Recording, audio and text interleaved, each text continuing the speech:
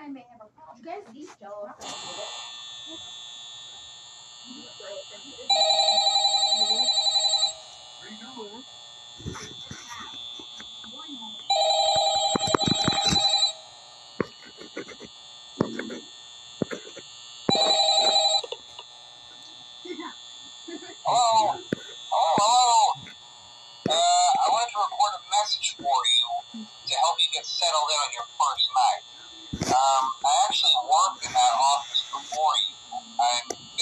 last week now, as a matter of fact. So I know it can be a bit overwhelming, but I'm here to tell you there's nothing to worry about.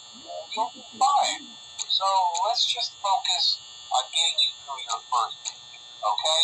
Uh, let's see. First, there's an introductory greeting from the company that I'm supposed to read. And it's kind of a legal thing, you know.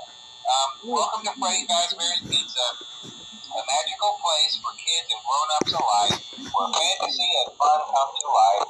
Fazbear Entertainment is not responsible for damage to property or person.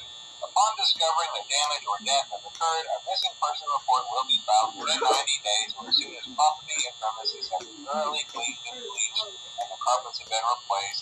Blah, blah, blah.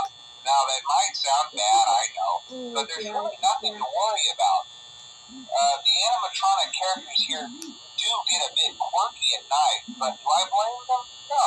If I were forced to sing those same stupid songs for 20 years and I never got a bath, I'd probably be a bit irritable at night too. So remember, these characters hold a special place in the hearts of children, and we need to show them a little respect, right? Okay. So just be aware, the characters do tend to wander a bit. Uh, they're left in some kind of roaming mode at night. Uh, something about their servos locking up they get turned off for too long. Uh, they used to be allowed to walk around during the day too, but then there was the Bite of 87 yeah, it's amazing that the human body can live without the frontal lobe. You know. Uh, now, concerning your safety, the only real risk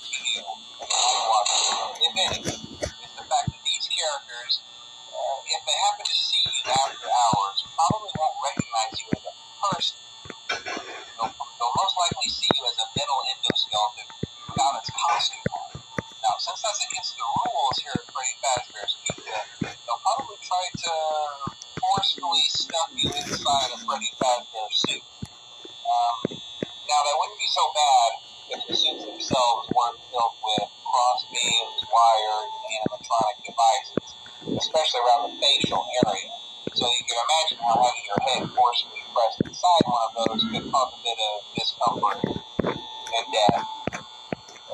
only a part you that would see the light of day again would be your eyeballs and teeth pop out the front of the mask. Because, yeah, they don't tell you these things when you sign up.